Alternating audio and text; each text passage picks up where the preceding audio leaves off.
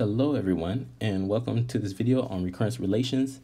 So in this video we want to show the running time of the following recurrence relation and I have the recurrence relation in the green rectangle and the recursive case states that t of n is equal to t of n minus 1 plus 2 times n and the base case states that t of 0 is equal to 0.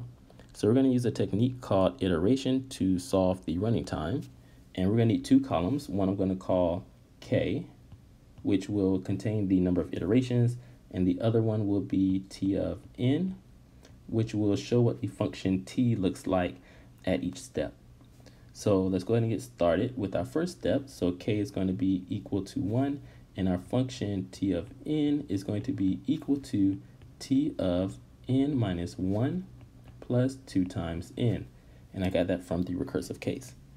Now to go to the next step, we need to figure out what t of n minus 1 is. And we can do that by substituting n for n in our in our recursive case, we're going to substitute in n minus 1.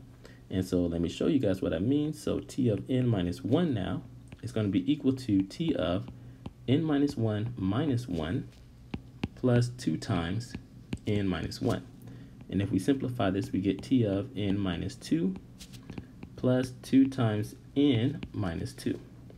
Okay, so this means that we can substitute now we can substitute in for t of n minus 1, we can substitute in t of n minus 2 plus 2 times n minus 2. So now this is our second step. So k is equal to 2, and our function t of n is equal to t of n minus 2 plus 2 times n minus 2 plus 2 times n. All right, so I'm going to go ahead and erase this down below and I'm going to kind of explain exactly what we did here. So our function t of n minus 1 has now become t of n minus 2 plus 2 times n minus 2. And then we've added the 2 times n here. All right. Okay, so I want to simplify this a little bit. So this is going to be equal to t of n minus 2 plus 2 times 2 times n minus 2. Okay? All right, so now we need to figure out what t of n minus 2 is. And to do that, we're going to basically do the same thing. So we get t of n minus 2 is equal to t of n minus 2 minus 1 plus 2 times n minus 2. And if we simplify this, we get t of n minus 3 plus 2 times n minus 4. Okay, so now k is going to equal 3, and our function t of n is going to be equal to t of n minus 3 plus 2 times n minus 4. All right. And then we're going to add in 2 times 2 times n minus 2. All right, so let's go ahead and erase this here. And let's kind of show what we did again. So now t of n minus 2 became t of n minus 3 plus 2 times n minus 4. And then we needed to add 2 times 2 times n minus 2. And we did that here. 2 times 2 times n minus 2. All right. Okay, and so we're going to keep doing this until we see a pattern. Um, but I don't see a pattern yet. So let me go ahead and simplify that equation that we just now wrote. So we get t of n minus 3 plus 3 times 2 times n minus 4 minus 2. And I still don't see a pattern, so let's go um, another step here. And let's solve for t of n minus 3. So t of n minus 3 is going to be equal to t of n minus 3 minus 1 plus 2 times n minus 3. And if we simplify this, we get t of n minus 4 plus 2 times n minus 6. And so now our k will equal 4, and our function t of n will be equal to t of n minus 4 plus 2 times n minus 6 plus 3 times 2 times n minus 4 minus 2. Okay, so I'm going to erase that, uh, what we did below. And let's simplify this equation. So we get t of n minus 4 plus 4 times 2 times n minus 6 minus 4 minus 2. All right, so now I do see a pattern. So let's take the um, equations and rewrite them below. So we're going to take uh, that first equation here. We're going to take this equation here. Uh, we're going to take this equation here and this last one here. All right, so when k is equal to 1, we get t of n minus 1 plus 2 times n. And I'm doing this so you guys can see the pattern. I do see a pattern now. Um, when k is equal to 2, we get t of n minus 2 plus 2 times 2 times n minus 2. Okay, and when k is equal to 3, we get t of n minus 3 plus 3 times 2 times n minus 4 minus 2. And when k is equal to 4, we get t of n minus 4 plus 4 times 2 times n minus 6 minus 4 minus 2. Okay, so I'm going to erase everything that we did before.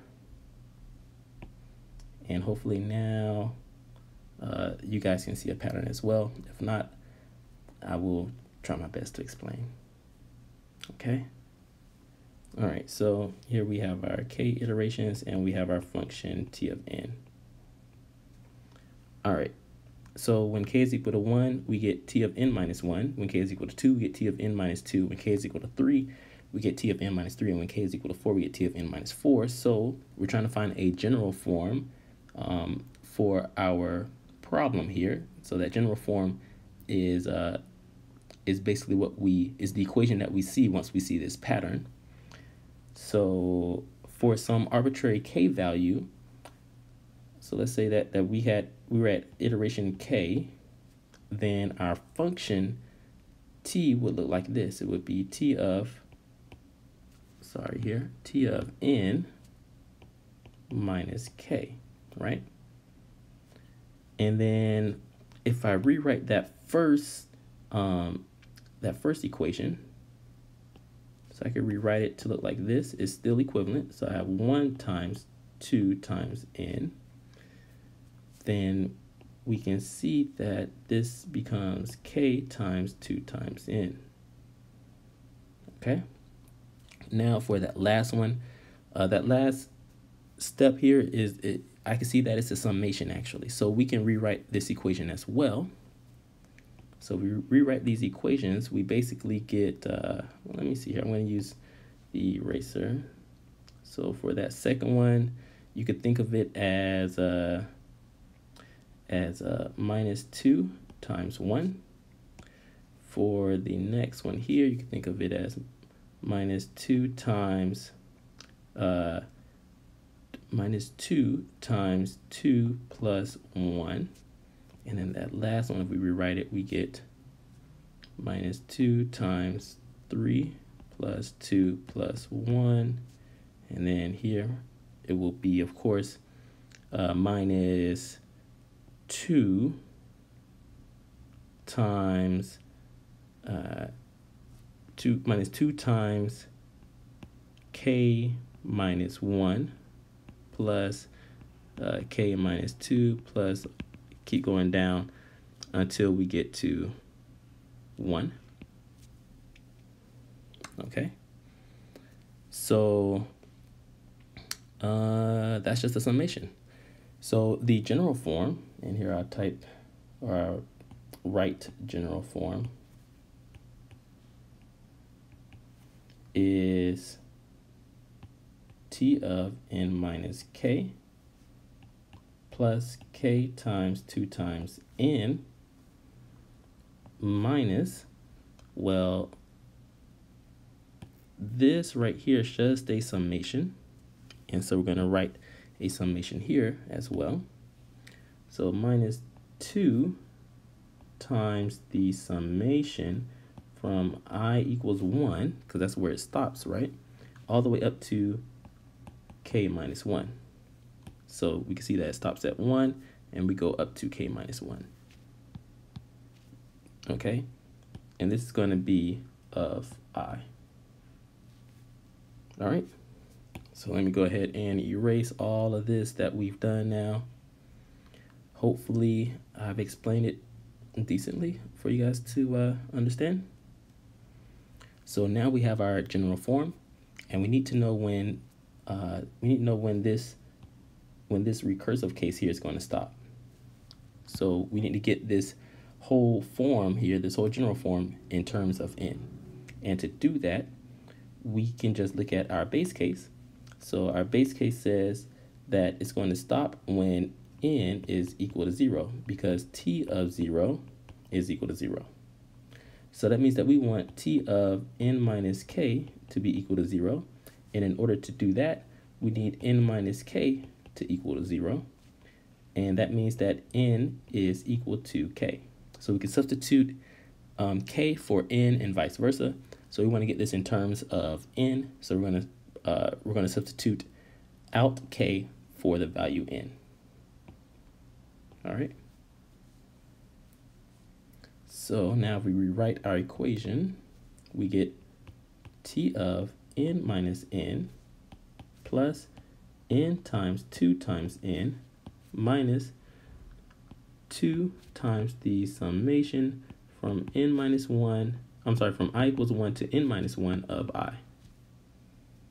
Okay, and if we rewrite this again, we get t of 0 plus 2 times n squared minus 2 times the summation from i equals 1 to n minus 1 of i. Okay, and now we're going to rewrite this again. So this is equal to 0 plus 2n squared minus 2 times, well, let's actually solve for that summation. So I'm to put a little note here.